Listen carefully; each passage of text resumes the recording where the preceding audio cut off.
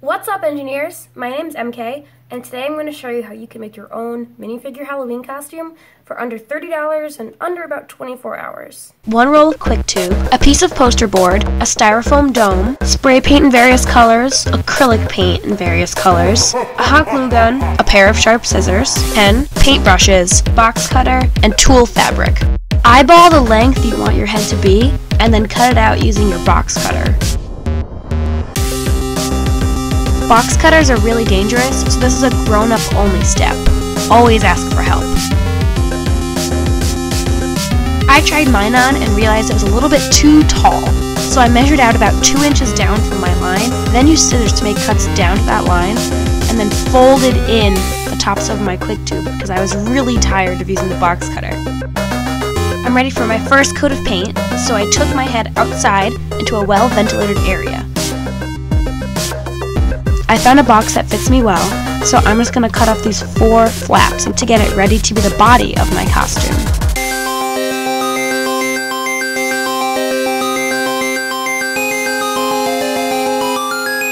I'm just going to eyeball a circle for the top and then do one of my arms.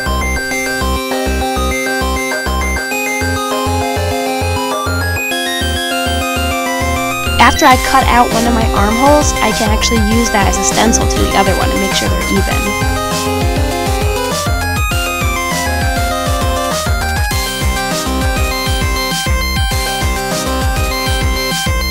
My box was a little weak after all the cuts, so I just put a little bit of duct tape on the inside. Try it on at this point and make sure it's comfortable. Gracefully exit your costume, and then spray paint it the color of your choice. I'm using blue. Use your dome and trace a brim shape on your poster board.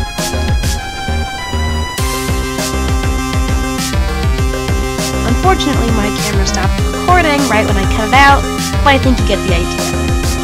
I then hot glued the brim to the dome, making a baseball cap. I let everything sit overnight and then brought everything back inside. The next day, I was ready to start on the face.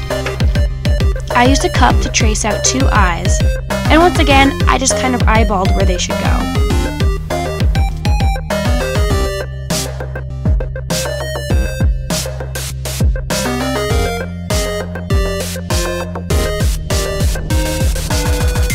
It's okay if yours don't turn out as perfect circles, mine certainly didn't, but that's okay, I had a plan for that.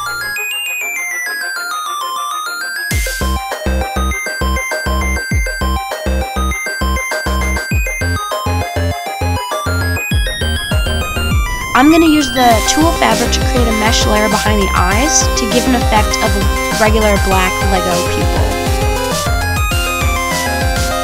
Once again, you could just eyeball the sizes, and I decided that I was going to layer mine up four times to make it nice and dark, but ensure I could still see through it.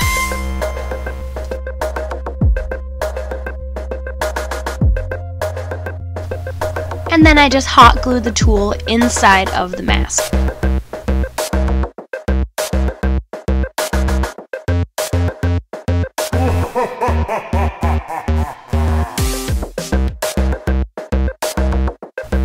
Go choose your favorite minifigure you want to model the face after. I chose this graduation guy. Here's where we fix those eye holes. With a little bit of black acrylic paint, I just painted around the eyes until they looked nice and round, and it gave the illusion of a perfect circle.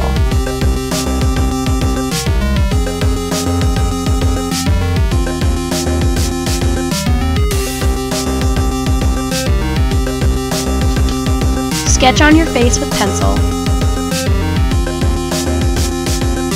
and then paint it in with your acrylic paint.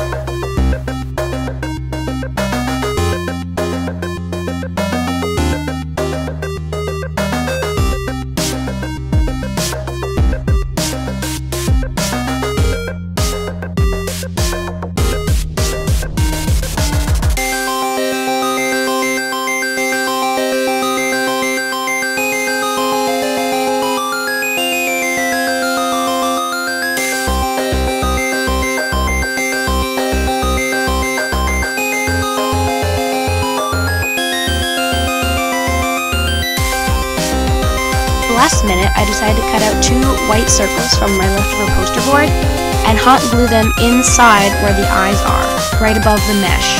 This is the way that the minifigure I picked out looked. I think it made him look a lot more like a real minifigure. I picked out a shirt with blue sleeves so it would go with the body of my costume. I printed out this Play-Well logo and put it right on the front. I think it looks really cool. Now you're ready to sing Everything is Awesome, get some candy, and maybe freak out a couple friends.